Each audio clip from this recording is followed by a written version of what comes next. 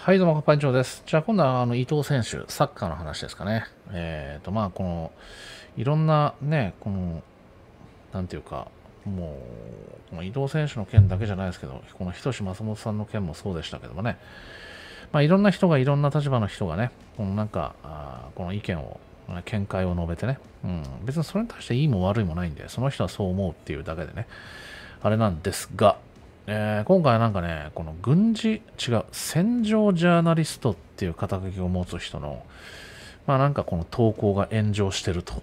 うん。まあ完全にこれ炎上狙いの、うん、だって本人も炎上を狙ってますけどね、てへ、みたいなこと言ってるんで、うん、っていうなんかアホなやつの話、となんか TBS のアナウンサーが苦言を呈す。要はこのメディア、これも、これもね、言ってることはそのおかしいことじゃないけど、お前言うですよね。メディアの人、だから僕から言わせれば、反日クソマスゴミ A が反日クソマスクソマスゴミ B にやりすぎだよって言ってるっていう、そういうことです。まあいいや、ちょっと順番に見ていきましょうかね。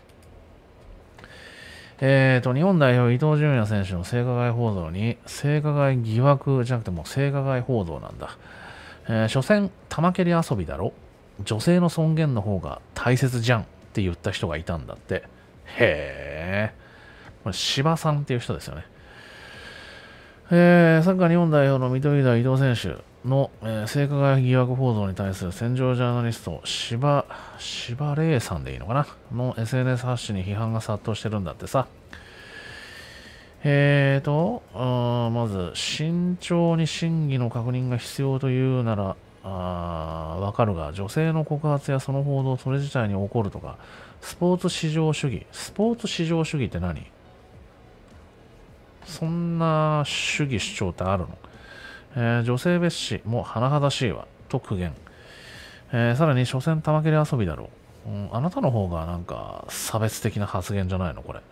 女性の尊厳の方が大切じゃん。今が事実か否かは慎重に確認していく必要があるが、と続けたと。で、それに対して、例えば、さすがにその発言は失礼すぎるとか、所詮玉蹴りとは、世界中の人々が熱狂している、たかがジャーナリストと言われてしまいますとか、疑惑の段階で一人の人間が職を奪われてもいいのかっていう人権の話なのに、所詮玉蹴り遊びと一周してしまう人が語る尊厳なんて全く信用ないとか、そうですね。だって戦場とはなんかくくられてますけど、ジャーナリストですよね。うん。公平とか、中立性とか、何もないよね。自分のこの好みとか主義主張、ね、個人のっていう体で。だやっぱり、結局、ね、こういう様子を見ると、所詮反日クソマスゴミ界隈のっていう見方をせざるを得ないですよね。うん。だからやっぱり事実とか真実とかっていうのがどこにあってどうなのかっていうのは関係ないってことだよね。この人にとってはね。うん。え、だって所詮玉蹴り遊びの玉蹴り遊び野郎だろうっていう、そういう見方をしてるってことだよね。うん。ね。で、しかもこの女性の尊厳つってましたけど、ね、僕がいつも言ってるようにこの犯罪は犯罪、ね、嘘は嘘、ね、違うもんは違う、ね、デマはデマ、ね、ガセはガセ、ね、そこに女も男もないんですよ。ね、男だろうが女だろうが犯罪者は犯罪者、ね、嘘つきは嘘つき。うん。ね、白黒はっきりさせて、ね、ふざけた輩を、ね、等しく、ね、この吊るし上げて始末してぶち込んで型をつける。ね、そうじゃないですか。女性だからうんぬんじゃないですよね。うん。でも世の中風潮的には女性だからうんぬんが多すぎませんって。例えばこの少数決とかさ。ね。うん。あーもうそうだし。ね、何かの権利とか自由とかなんかそういうなんか人権とかなんかそういうのを歌う輩って大概このパターンですよね。うん。ね、平等をね、なんかこの掲げてきやがる癖、そういう輩に限って、うん、偏ってるよね。うん。だからこの人もそうじゃん。ね。真偽の、ね、事実かどうかは慎重に確認していく必要があるがって言ってるのに、うん。もう最初から伊藤選手が性犯罪者と決めつけて、ね、女性の尊厳をって、だって尊厳は男性にもありますけど、うん。だからまあさっきのこの前の動画で見たね、えー要はこの原作者さんとね、この脚本家、で脚本家の先生の中には、まあ、今のところなんか2種類どうやらいるらしいと。ね、本当にこの脚本家として、えー、活動されている方、まあ、オリジナルも書くし、えー、原作があるものも、えー、原作者の先生と協力して作品に仕上げていくっていう先生方の話も見ましたけども、まあ、そうじゃないね、不届き者がいると。ね、自称脚本家の、ね、まあなんかこの知名度だけもらって、ね、この原作者はいらない、原作だけあればいいっていうね、脚色屋、ね、不良脚色屋、だからもうなんか不届き者がやっぱ多いっすよね。うん。だからこのじゃ、ね、自称ジャーナリストのこの人もそうだよね。ね、だって、ジャーナリストっていうからには報道に際して最もね、うん、重視しなきゃいけないところって事実かどうかでしょ。ジャーナリストでしょ？例えばこれは個人もそうだし、報道機関、メディアそのものっつってもいいのか。がそうですけど、事実を事実としてありのままに報道するものなんじゃないの？ね、でそれを取ってくるのが、まあ、ジャーナリストだったりするんじゃないの？ね。戦場ジャーナリストっていうから要は戦場のありのままを取ってくるんじゃないの、うん、で報道機関はそれをありのままの報道するから報道機関なんじゃないの？でも残念ながら日本にはそんな、ね、人もいなければ企業もないよね。うん。ね、ジャーナリストをね、この肩書き、ジャーナリストを語っておきながら、事実か否かはどうでもいいって言っちゃってましたよね、さっきね。うん。もうこの時点でやっぱりね、なんちゃってですよね。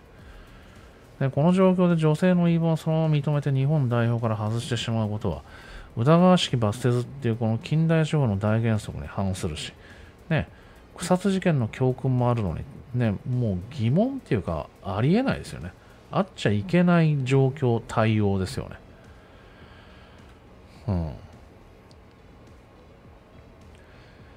で、まあなんだろうな。そうそう。で、でこの芝さんってこのスポーツ至上主義、ね、女性蔑視にうんざりなので、あえて炎上するようなことを言ってみた。だから最初から炎上狙いなんですよね。だからもう、くクズですよね、はっきり言って。うん、だから迷惑系のあの、ね、詩人逮捕系のあのね、うん、ポンコツどもと変わんないですよね。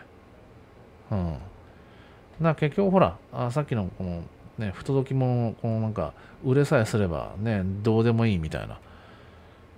なんかやっぱり世の中、この日本社会ってもう本当そんなのばっかっすね。うん。で、そいつのなんかスポッターでどんなのかなって見てみると、もう大概スカスカですよね、やっぱり。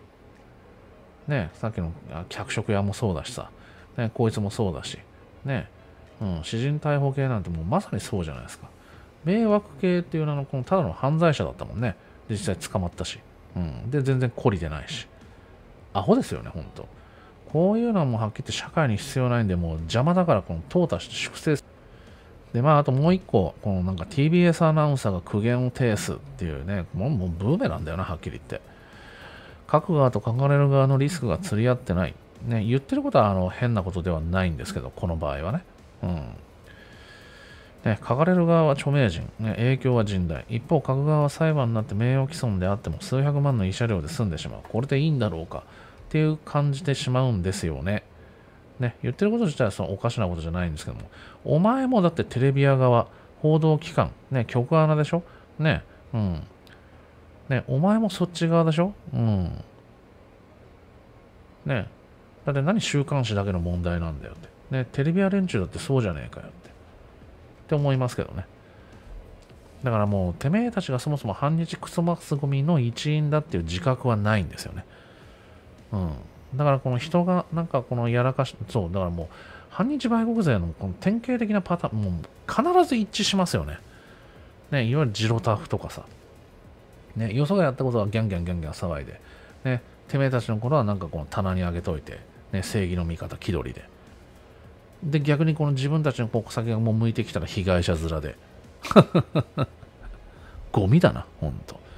いやーもうとにかく掃除がしたいですよね、掃除がね。うん。くっさい臭い、ほんと。はい、以上です。